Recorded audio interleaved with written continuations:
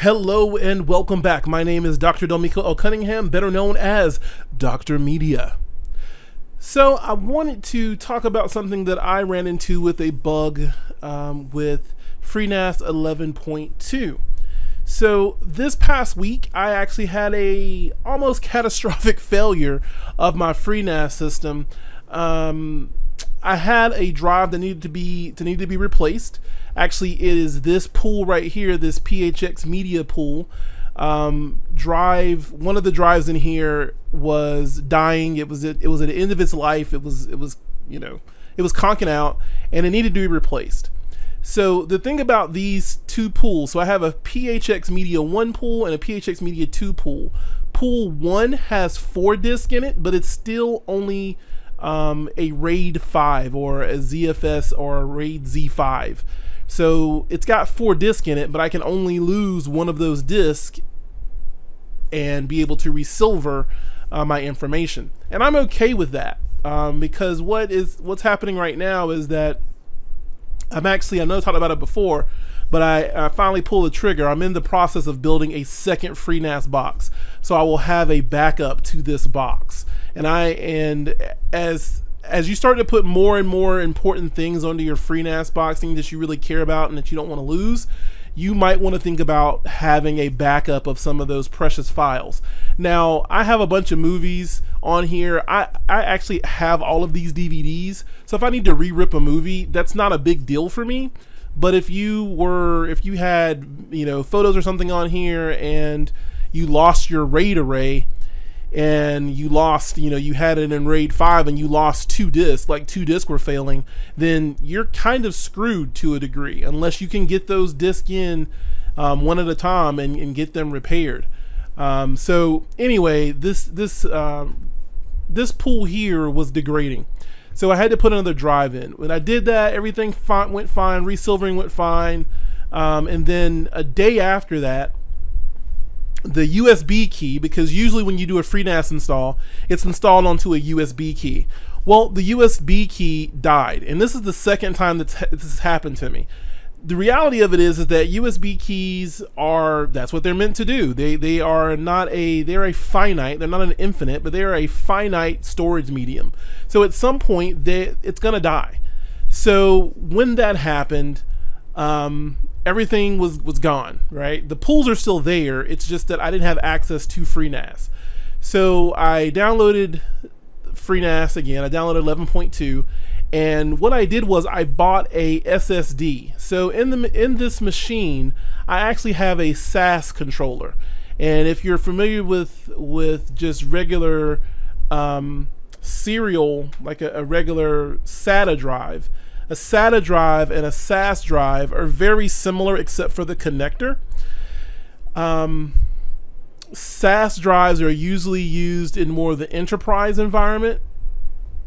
So I have a SAS connector. Now SAS connectors are really still kind of really cool because you can get a SAS to SATA connector. Um, so that's what I have. I have a SAS card, and the thing that's nice about it is it only has two ports, and off of those two ports, I get eight drives. So I can run eight drives off of that, um, off of that one card, and basically the motherboard has an additional six um, SATA connections that I can use. So anyway, long story long. Um, lost that drive. So what I did was I added a SSD, and SSDs have gotten really cheap. So uh, I got a Kingston A400 uh, 128 gig SSD, and I put that in place of my boot drive. So now I'm no longer booting from a USB key. I'm gonna go out there and say, pretty much, unless you have to, I would install FreeNAS to a real hard drive. So that means like an SSD, but what I would suggest is do not get something gigantic because it's only going to be holding the operating system of FreeNAS. So it's not going to really do anything else for you. Now, alternatively, what I'm thinking about doing, because I picked up a 248, 240 gig SSD as well for like 29 bucks, um, I'm thinking of adding that second SSD as a cache drive for the FreeNAS server. And what that does is basically almost like RAM, you're able to cache the things that are being written to the server so you can cache them on a faster hard drive and then write those things to the pools that they need to be written to um, and have less of a chance of, of, um, of data corruption or things of that nature. So I say all that to, this, to say this. I went and I reinstalled FreeNAS. FreeNAS was running fine. And then I went into services to start up SMB. I wanted to run Samba. Samba wouldn't run. I click on Samba and every time I clicked on it, it would say not started, not started, not started. So this has been a bug um, in 11.2. So I'm going to show you how to get past that bug. So what you want to do, and I and I prefer I prefer Bitvise. So you want to use something like Bitvise some way to SSH into your machine. So I turned on SSH and then here under actions under configure, I, I uh, checked login as root with password. I wanted to be able to do this as root, right? So um, with this, what I did was I log in. So log in right here. And the reason why I like Bitvise is because it gives you a graphical SFTP um, browser.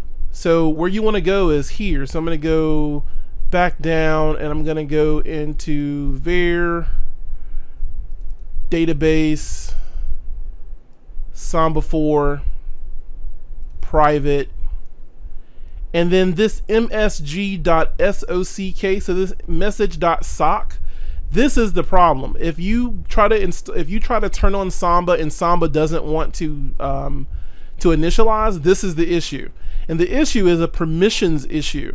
So if I right click on this and go to properties, I can then go to permissions. So you'll see in here that I have I have a um, permission of 700. So it's read, write, and execute. This is the proper permission. If you come in here and the permission is set to 755, this is the wrong permission and Samba will not start. So the permissions have to be set to 700, right? So you have to set this to 700. So if you do that, set it to 700, hit OK. I'm not going to do it now because I've already done it. You hit OK, and then um, go back into FreeNAS here, and let's go to Services, and then go to Samba and click on Samba. Samba will run. So you'll then be able to have your Samba uh, running on your FreeNAS box. Now, if you if you don't use Samba, Samba is Windows file sharing. So if you look at your computer and go to like your network, you'll see I can see all the computers on my network and there's my media, there's my PHX media NAS box, which is this FreeNAS box here. So that allows it to show that allows it to to for me to be able to make shares so I can make shared folders that um, are sitting on this computer and they're basically network shares. Now, there's something else. If you're using Windows 10, if you use Windows 10 and you're doing a brand new installation of Windows 10, there is a there is another it's not a bug, it's just a feature that's turned off and I don't know why they did this. But if you go to if you if you have your network set up, if you have multiple if you have multiple computers in your house and you can't see some of those computers, first of all, you want to make sure that your network has um, discovery turned on, has network discovery turned on. Usually it will. If it doesn't, then activate network discovery. The other thing is you might not see this FreeNAS box show up. If that's happening, you want to go to your to Windows and I'm going to say turn Say turn. Actually, it's Windows. So I, type, I start typing Win, and I'm going to look for this right here in Control Panel. So this is in the Control Panel, but it's turn Windows features on or off. So when I open that up, you'll see that there is a SMB 1.0 CIFS file share support.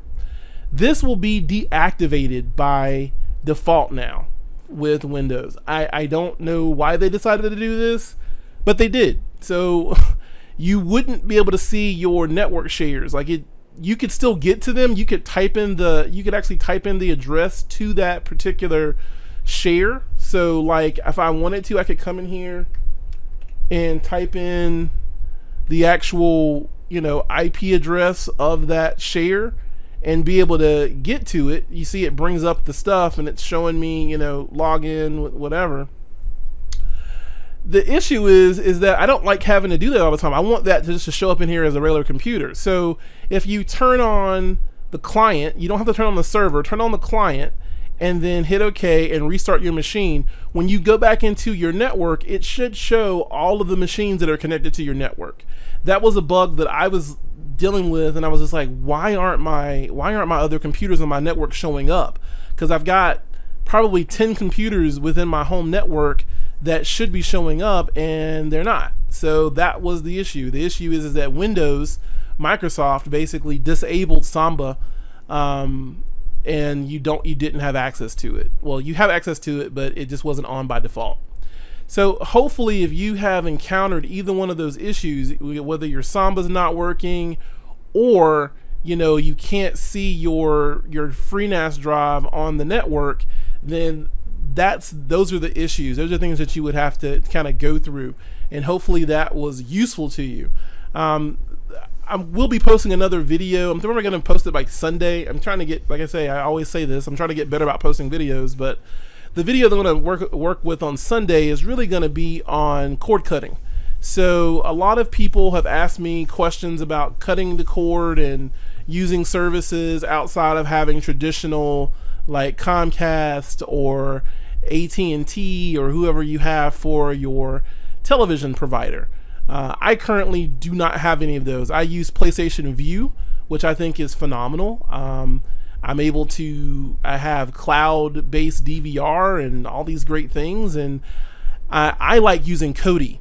And there is an official plugin or an official add-on for Kodi that lets you access your PlayStation Vue account inside of Kodi, making it seamless. So you actually have real live television inside of Kodi. Now, because I don't believe in using any of those um, IPTV, um, those different ITP, IPTV services that all pop up around the internet. For one, they're not secure um, and they're stolen feeds, basically. Uh, I just wanted a way that I could integrate Kodi as my main media center. So I decided to go with PlayStation Vue. The other thing that I decided to do because some of the builds of Kodi that I, well Netflix is not available on Kodi. There's not a Netflix um, add-on for Kodi. At least not anymore, not an official one. But there is a there is a piece of software called PlayOn, and PlayOn is completely legal and you are able to record Netflix shows to your own DVR. It's completely legal. It's a real company. It is not some, you know, uh, hackers doing some stuff. It is actually a real company because they actually have a cloud version of it that lets you record things to the cloud. Uh, right now, they have a sale going on. If I can go to their website, I think I had it up here. Yep, there we go. So on their PlayOn website, get rid of honey. So on their PlayOn website right now, they actually have PlayOn for sale, and if you buy it right now, it's 40 bucks for a lifetime um, subscription, and that gives you unlimited recordings. But you have to have the space to be able to record to. So basically, you're recording to your hard drive or your NAS or wherever you want to record to. But the cool thing is, is that um, you are able to log in to PlayOn with your um, credentials for Netflix and Hulu and Amazon and all the other streaming apps. And this gives you access to those streaming apps inside of Kodi through the PlayOn browser. So it's not a complete one to one integration, it's a little bit clunkier, but it's cool because I don't have to, because like in the living room, I have a TV that doesn't have any smart features to it and I currently use a Roku on that television. But I, I, you know, honestly, I don't really love Roku. I don't love the interface. I don't love how restrictive that it is. So I'm probably going to replace that Roku box with a Raspberry Pi running OSMC. OSMC is a um, purpose-built version of Kodi for Raspberry Pi and for Windows and Mac as well, but it runs really well on a Raspberry Pi. And right now, most of the movies that I have are 1080p, so I don't need 4K support, and the TV that I have in the living room anyway is not 4K at all anyway. So if I were going to go for a real 4K player, I would either buy the Mi Box or buy the NVIDIA Shield, which are both great 4K players that support Kodi. So anyway, that's the video that I have coming up this weekend. I'm going to talk about how to set that up and how to be able to uh, get that going on your network. Like I say, once again, hopefully the information that's in this video is something that can help you. I know it was something I was racking my brain with until I sat down and thought about it and um, started to like look at the logs and stuff of FreeNAS, and I was like, oh, okay, there's a permission error. So anyway, hopefully this has been helpful to you. And if it has, and you like the great content that we do here on the Dr. Media channel, then you know, leave us a like that like this video. And if you really like what we do on here, then subscribe to the channel and hit that notification bell so that you get all those notifications whenever I upload something new, which I promise. I promise, promise, promise. It's trying to get trying to get better about it. Just a really heavy work summer. So anyway, until next time, my digital mutants, later.